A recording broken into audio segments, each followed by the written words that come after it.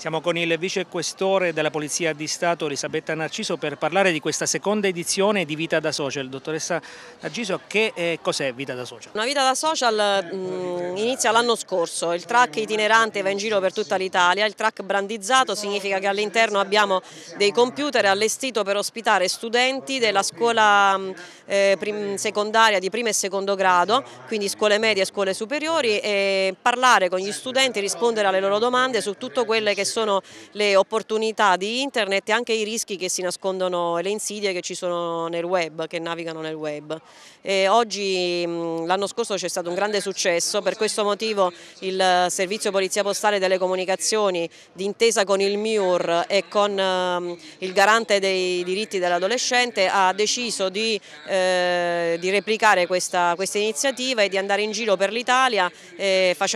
inserendo anche nuove tappe. Ieri siamo stati a Giulianova, eh, l'anno scorso abbiamo fatto l'Aquila e, e, proseguirà nel corso dei prossimi anni. Dottoressa, eh, internet eh, è un'opportunità ma eh, dietro la rete ci sono tanti rischi. Sì, ci sono tanti rischi dietro, dietro la rete, e le opportunità ci sono, sono tantissime, ben venga internet, ma i ragazzi devono essere consapevoli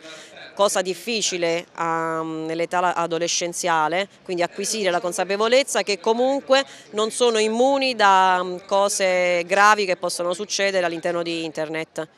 Come eh, Polizia delle Comunicazioni eh, negli ultimi tempi avete portato avanti diverse operazioni per il contrasto alla pedopornografia, alle truffe via internet, insomma è un settore questo dove c'è molto da lavorare. Sì, la, il Servizio Polizia Postale delle Comunicazioni ha la competenza esclusiva per il contrasto alla pedopornografia online ed è per questo che uno dei reati che noi cerchiamo di contrastare è questo. Il fenomeno c'è, è dilagante nel mondo, non a Pescara in particolare, ma nel mondo. È necessario eh, che i ragazzi sappiano che la realtà virtuale è diversa da quella che si vive ogni giorno, che al di là di una webcam, al di là di una chat, eh, può esserci una persona diversa da quella che ognuno di loro pensa che che ci possa essere.